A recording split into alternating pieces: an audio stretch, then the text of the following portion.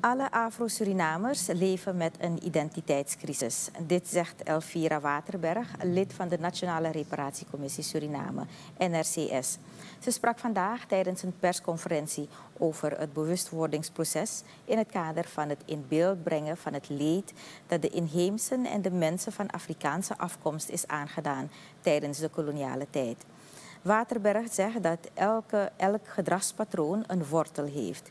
Het leed dat de voorouders van de zwarte gemeenschap is aangedaan, komt volgens haar voor in de genen van de nazaten.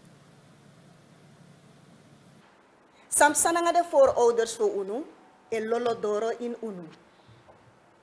De bekis fon fon, blaka fon de de wreed. Na sang tang ina na sa asma mek mina dat we lologo moro fara. Lukus koro, of them di mim go tek de procenti. Ala leisi, a procenti. E hey, drop outs, onze kinderen. Finance, in oudergezinnen. Dat nou af de oorzaak. Het ligt dieper dan we denken, lieve mensen. En waarom vluchten de mensen? Omdat je tak abras raft en je tigriwansan inde. Natuurlijk, ze gaan emotioneel worden, ja. Daarom ben ik blij dat de Nationale Reparatiecommissie hier achter zit. Dat we tak abra een healing. Dem chifunu, den koni ook toe. Want alles maar abe talent in aan je wijsheid.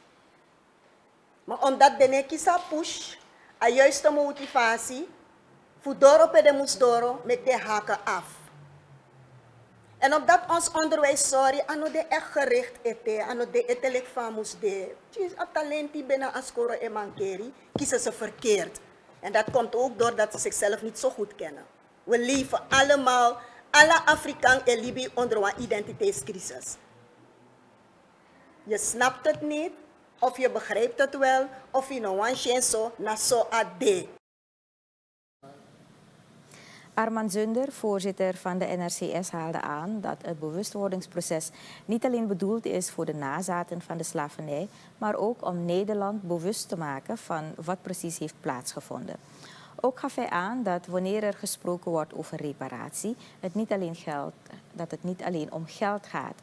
Wat volgens hem moet gebeuren is veel meer dan dat. Een Tori voor reparations. Amoro belangrijk sani na atori voor self-reparations. Dus voor Chenchi, Sani, in Yutontong en Chenchi Apraxeri. We zijn in Suriname nog niet eens zo ver dat wij een rijtje hebben dat dit zijn onze helden. We zijn nog niet eens zo ver. Iedereen noemt die een held, die een held, die niet, et cetera, et cetera. If you go naar Jamaica, dan maar op negi helden. Alles maar. En vooral de bezoekers sabding. Want je mopo uit het airport, Rex, dat je alle die negi helden. Dus we hebben nog een lange weg te gaan.